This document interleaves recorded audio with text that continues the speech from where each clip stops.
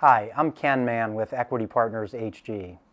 Today I'm with Derek Abbott, a partner in the bankruptcy group of the Wilmington law firm Morris Nichols Arsht and Tunnell.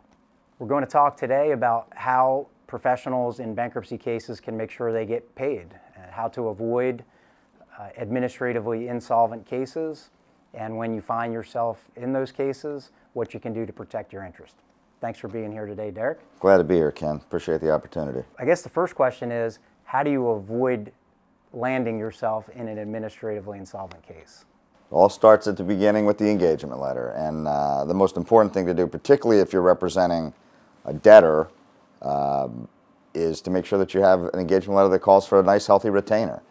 And uh, the important thing to remember is that um, because you are ultimately likely to be involved in a court proceeding, you got to make sure that retainer is big enough to carry you at least 45 to 60 days once the case is started because it's just to be that long before you're going to be able to get the court uh, to authorize any payment to you. So I guess it's a pretty good sign that the debtor isn't going to be able to survive a bankruptcy case if they can't pay that type of retainer.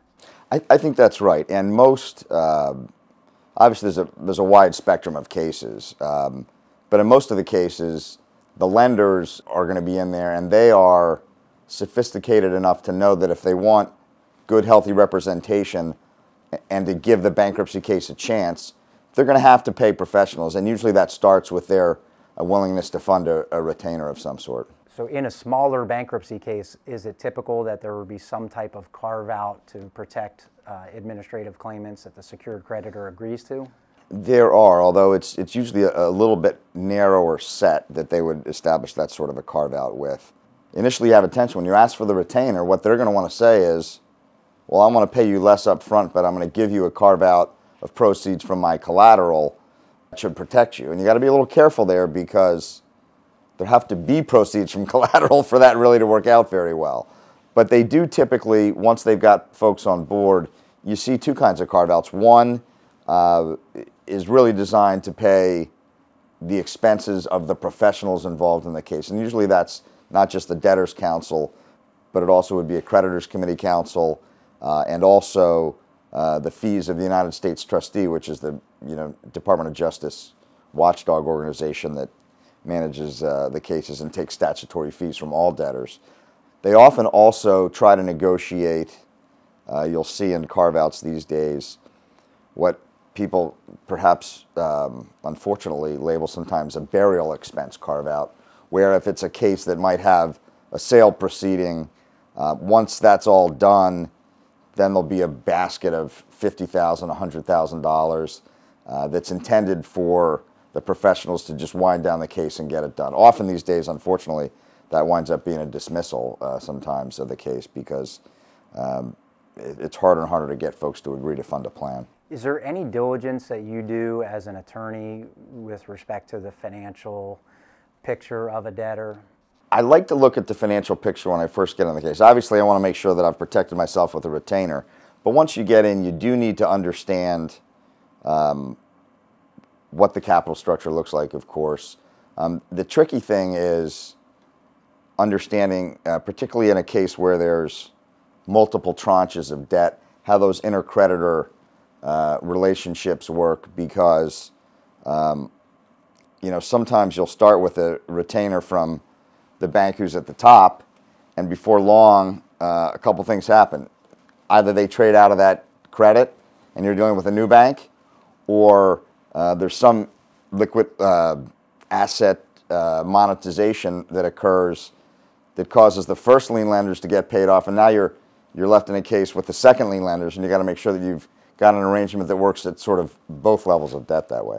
Derek, are there certain industries or types of cases um, where maybe the value isn't very clear up front, where you have to be particularly careful about uh, thinking that there's collateral value to get paid from later and then finding out um, that maybe the debtor was overly optimistic about the value of a certain asset class or about the prospects of the business?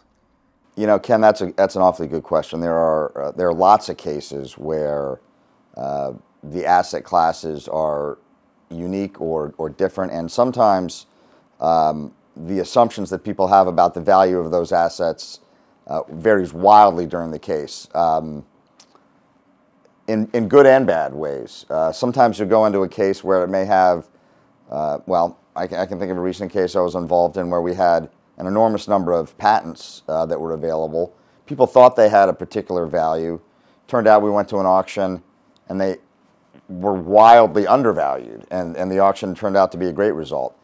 But the same thing can happen uh, in, in the opposite direction, and it's those other cases that you have to be a little more a little more careful about, uh, particularly as you get into the smaller cases.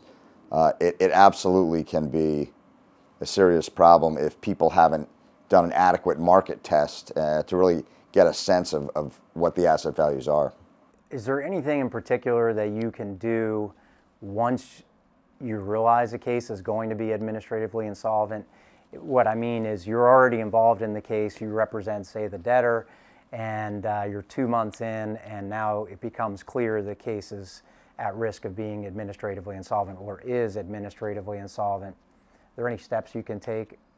Uh, well, it's funny. You, you, remind me of a, of a case that I had a similar situation. We uh, were representing a small debtor. We went in with a, with a pretty standard uh, debtor in possession financing package. The company had not adequately forecast uh, 503b9 claims, administrative claims for goods delivered immediately prior to the case. And we got into the case and shortly figured out that the budget was going to be inadequate for us to actually be able to pay those claims, get the case done, get a sale accomplished like we hoped. Um, we put on a case in front of the court trying to establish the likelihood of recoveries on preference actions as a means to be able to pay those 503b9s.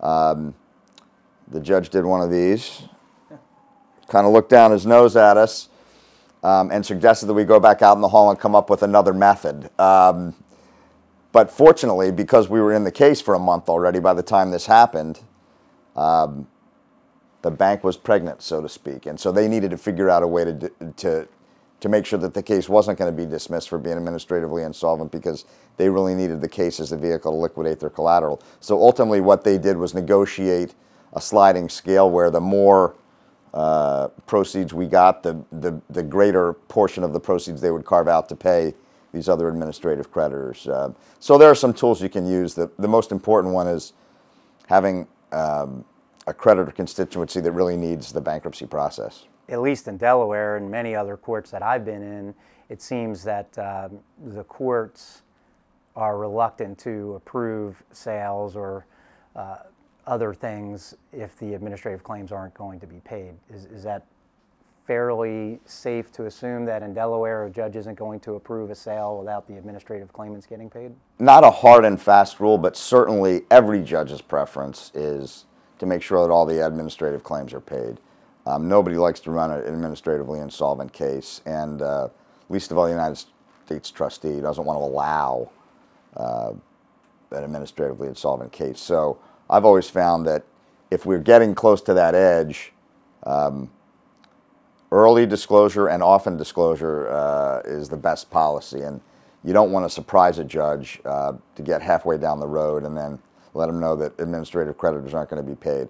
It's not good for lawyers getting paid either because the professional fees, of course, are pari passu with, with all those administrative creditors as well. So um, folks are pretty careful uh, about trying to make sure that they're not running into administrative insolvencies. Great. Well, helpful advice. I know you and I are all for the professionals in the cases getting paid. So also uh, early and often. Early and often, and uh, we appreciate the tips. Thanks for being here. Thanks, Ken. Appreciate it.